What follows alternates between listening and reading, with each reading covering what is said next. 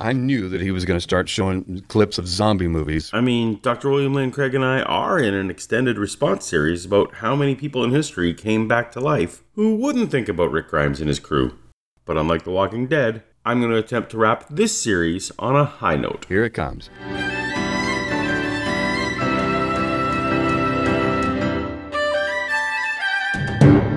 Welcome to Paulogia, where a former Christian takes a look at the claims of Christians.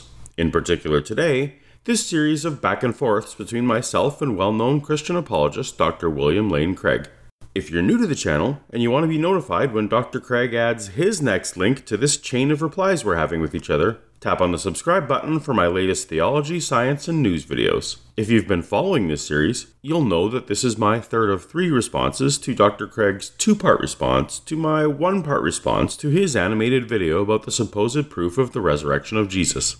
You don't need to know any of that now, but there are links in the description for when you want to catch up on the whole conversation, some of which I'll summarize rather than replay directly for the sake of your time. Continuing. When they heard the report that the tomb was found empty, they said that Jesus' followers had stolen his body. Not only is this alleged response by Jewish authorities completely and entirely for the Bible tells me so, it's not even one of the details attested in multiple Gospels, like the kind Craig thinks we should have confidence in. Again, the critic shows that he hasn't read what I've written on this and what is merely summarized in the video. This is the same charge he made in part 1 that because I address exactly and specifically what is said in his video, that I must not have read his more detailed works. But I'll reiterate again that the videos themselves give no hint or clue that further background reading is suggested or required in order to clarify the claims made in the videos. Craig's animated videos make the most aggressive, most favorable versions of claims that the Ninth Commandment will allow, leaving his mass audience walking away with a false sense of confidence as Craig knows full well they won't bother reading the background material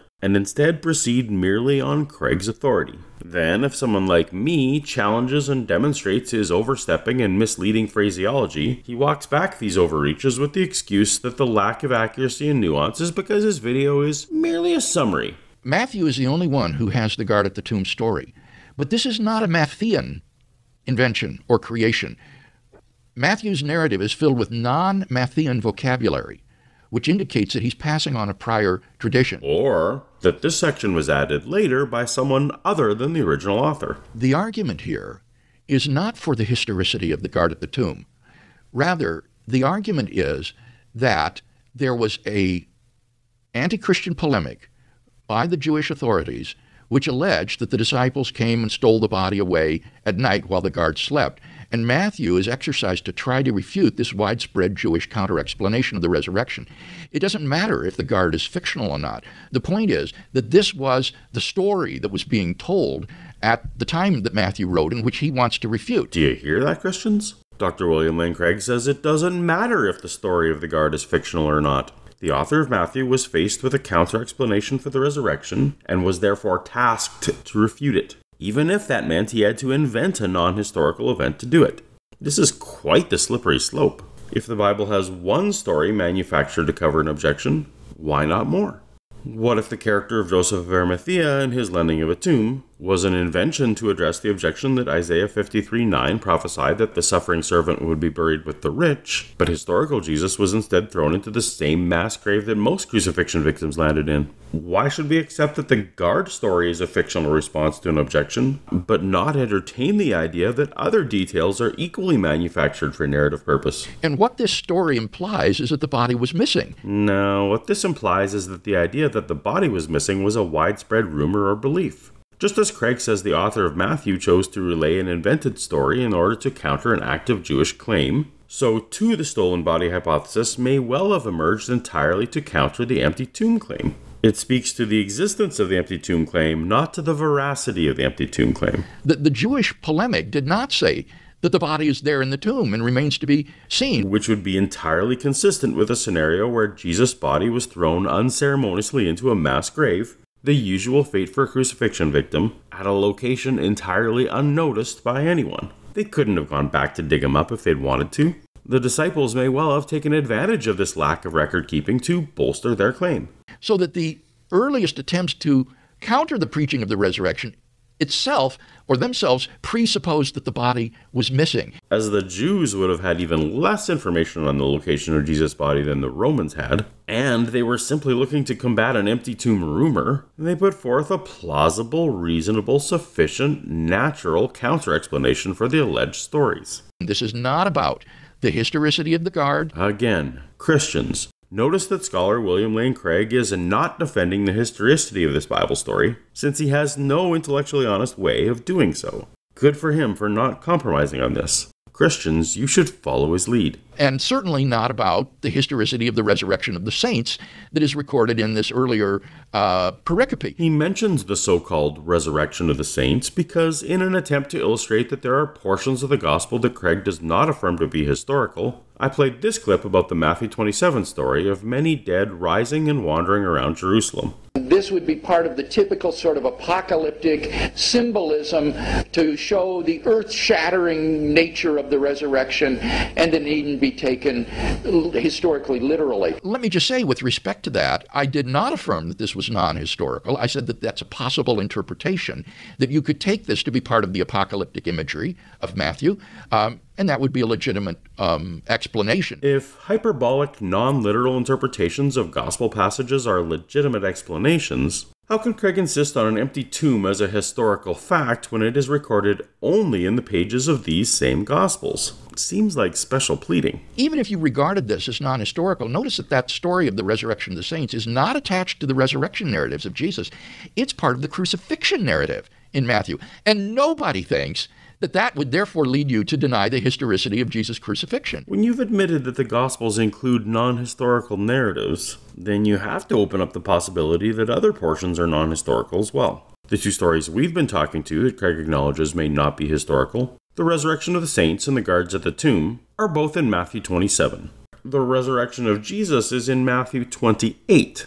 It's not only the very next chapter, it's actually the very next verse. There were no chapter divisions when these books were written. We're supposed to be able to tell that in the course of a single verse, the author went from a made up fictional polemic back to solid history? Jesus' crucifixion is an indisputable fact of history, even if Matthew appends to the story of Jesus' crucifixion this account of the resurrection of various saints. Historians who affirm Jesus' crucifixion generally do so upon secular sources, Josephus and Tacitus, not on the say so of the Gospels. If there were even a single extra biblical source for this alleged empty tomb, we wouldn't be having this conversation. So, this is simply irrelevant to the question that we're considering whether or not there's good evidence that Jesus' tomb was found empty. The Jerusalem zombies are a bit of a non sequitur, but serve as a demonstration of Craig's somewhat arbitrary evaluation criteria for determining which Bible verses are invented and which are historical.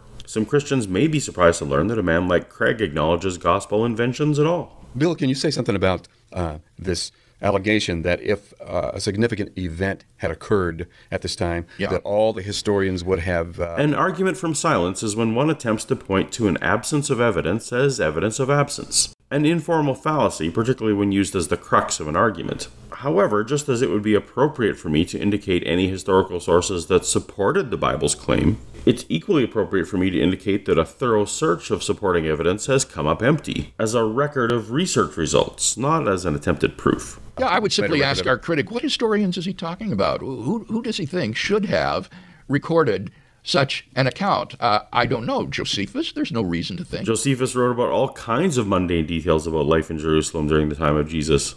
There would be no reason to require that he would record these resurrections, but as one example, Josephus takes the time to give us a section on sandal replacement practices for posterity. So it seems reasonable that if he'd known about a gang of formerly dead wandering around Jerusalem, that he'd have spared a few sentences of his 20 plus volumes of history to let us know. I've heard this question of which historians might write from several apologists, including Eric Hovind, as I covered in my Secular Sources for Jesus video, as if it's a gotcha question of some kind. And perhaps it often is, since few people can list off any first century historians off the top of their head. But there were plenty of historians writing about the period and locations of the New Testament. Early church father Eusebius claimed that historian Philo of Alexandria actually knew Peter, yet said nothing about Jesus in his writings. There's Apollonius of Tyana, Seneca the Younger, Pliny the Elder, Justus of Tiberias, Dio Chrysostom, and on and on. For some of these conspicuous absences, we know of them specifically because early church fathers like Eusebius and Photius of Constantinople were already trying to explain this unexpected historical silence thousands of years ago. There's no reason to think that if, following Jesus' resurrection, various people in the city claimed to have visions or appearances of Old Testament saints, that this would be somehow recorded somewhere. Visions or appearances, says Craig. Matthew 27 52 says, The bodies of many holy people who had died were raised to life. It says specifically that the bodies were raised to life, but Craig is quick to relabel this clearly intended as physical phenomenon as visions or appearances, experiences that needn't have been physical. This is the opposite of the usual Christian conflating the Apostle Paul's vision with the physical appearance. If Craig suggests that these concepts can be used interchangeably in the New Testament, then why would we insist that any of the post death Jesus sightings were real? In fact, I, I don't find it all implausible that there would have been, say, a chain reaction of such sightings following the resurrection of Jesus. A chain reaction of non physical sightings of the dead that may not be historical. A reminder that he's not talking about Jesus. We assume. Uh, I don't think we can be confident that these sort of appearances didn't occur uh, in Jerusalem at that time. Uh, they're not like the cartoon here of dead zombies, yeah. you know, roaming about the streets of Jerusalem. I hope our listeners are more sophisticated than that. We would be talking here about uh, appearances of glorified persons um, uh, to various individuals. Why would we necessarily be talking about glorified persons? What about the bodies of many holy people who had died were raised to life in any way indicates glorified persons? Is Craig inferring merely non physical visions to select individuals rather than actual reanimating corpses? If he can justify interpreting Matthew 27 resurrections this way, why can't we also interpret the Matthew 28 resurrection of Jesus as equally non physical visions? These are dangerous justifications Craig is making, setting what should be troubling precedents for any Christian listening. Here's toward the end of his segment on the empty tomb. Most scholars, by far, hold firmly to the reliability of the biblical statements about the empty tomb. It was in William Lane Craig's own book, Reasonable Faith, Christian Truth, and Apologetics, that I found Kremer's comment. By far, most exegetes hold firmly to the reliability of the biblical statements about the empty tomb. Why did the video deliberately change exegete to scholar? What is an exegete? It's someone whose job it is to interpret scripture. This is just embarrassing for the critic, uh, Kevin. This is so embarrassing for me. Let me adjust my face accordingly. It shows that he doesn't understand what biblical exegesis is. Um, biblical exegesis is not starting off believing that it's true and then trying to explain what the Bible says. I'm sorry for being so misguided as to suggest that exegesis involves coming to conclusions by using the biblical text. Maybe the Christian Ministry channel Got Questions can correct me on this. The word exegesis literally means to lead out of. That means that the interpreter is led to his conclusion by following the text. Hmm. Maybe my Bible college education is serving me after all. These are technical terms used within seminary circles. Exegesis is specifically about internal theological interpretation and is specifically separate from the practice of textual criticism, which is investigation of the history and historicity of a text. Exegesis is to history as astrology is to astronomy. Rather, uh, biblical uh, exegetes are precisely these historical scholars who investigate the New Testament and try to figure out its meaning and, and what it says. Correct. Exegetes are trying to find meaning in the words, not determine how the words came to be. So far, we agree, Dr. Craig. And the um, quotation from Kramer, if he looks at the footnote in Reasonable Faith, is in German. I made the graphical choice of wanting to clearly compare the quote in Craig's video to the quote in Craig's book, so I can forgive Craig for wondering if I indeed read footnote 54, even though it's clearly delineated on the screen. And in fact, I did read the footnotes and assumed that Die Osterevangelien was probably a German language book, though such is not specified. And it was I who translated the word in the German exegeten as either exegetes or, since most lay people don't know what that is, scholars. Yeah, you've just admitted to exactly what my complaint was your imprecise language, which has the consequence, intended or unintended, of misleading your video audience. It is a matter of communicating to lay people what Kramer was talking about. So, in Reasonable Faith, which is a, a somewhat more scholarly, I give a more literalistic translation of exegeten as exegetes, But, and I think probably on guard or in, in a video like this for lay people, um, just translate the word as scholars. You chose not to use the general word scholar in your book, as those readers would know it was inaccurate to the point of being incorrect. An exegete is absolutely not synonymous with scholar. It is a specific type of scholar. A pediatrician is a specific type of doctor, one who treats children. It is very obviously different to claim that 75% of pediatricians give lollipops to their patients, as it would be to claim that 75% of all doctors give lollipops to their patients. You can't extrapolate statistics from the specific to the general. This imprecise language gives the impression of far more agreement than exists in reality. Sure, most exegetes consider the biblical statements about the empty tomb to be reliable. The majority of all scholars? Not a chance. But if you just watch the video, you're led to think so. In the video, I noted that one of Craig's sources, Jesus resurrection expert Gary Habermas, explicitly refuses to call the empty tomb a historical fact. I don't take what Habermas calls a minimal facts approach to the historical Jesus. For Habermas, for something to be what he calls a minimal fact, that's a, a technical term for Habermas. Virtually everybody has to agree that it is historical. But what Habermas's own surveys show, as I point out, is that around 75% of the scholars that he surveys in the literature who have written on this topic agree with the historicity of the empty tomb. This will never be impressive until such time as Habermas publishes the survey. It is said to be those who have specifically published on the resurrection of Jesus, which would be a massively self selecting group of Christians. Frankly, it is more startling that 25% of a group do not attest to the empty tomb, which is probably why Habermas won't stake his scholarly reputation on overstating the historical case for the empty tomb the way Craig does so freely. And that is exactly what Kramer says. By far, most exegetes hold firmly to the reliability of the biblical statements about the empty tomb. So Kramer is on exactly the same ground as Habermas. By far, most scholars, uh, somewhere around 75%, uh, agree with the historicity of the empty tomb. And so there, there's no uh, inconsistency here whatsoever. You're doing it again.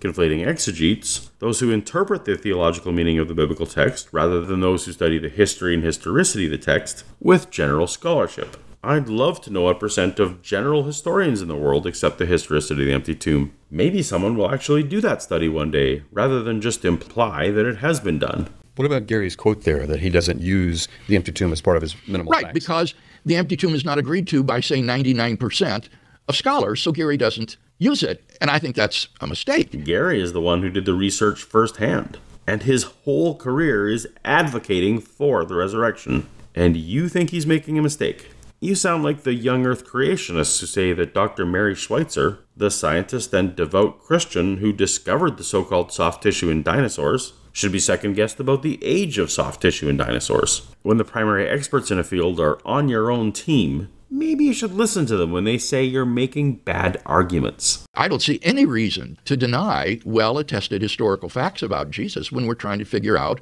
what happened to Jesus after the crucifixion. When it comes to the empty tomb, we're not talking about well attested. We're talking entirely about for the Bible tells me so. This isn't an appeal to authority. It's simply to say that, contrary to uh, apologetics here, Checking the podcast transcript on the Reasonable Faith website, when Craig says apologetics here, he means me, Paulogia. Given everything else I've been called lately, I'm going to take this as a win. that the majority, the wide majority of New Testament historians have found the evidence that I summarize here to be convincing. The wide majority of New Testament historians work for institutions that require them to sign statements of faith. They would explicitly lose their jobs if they admitted to not finding the evidence convincing.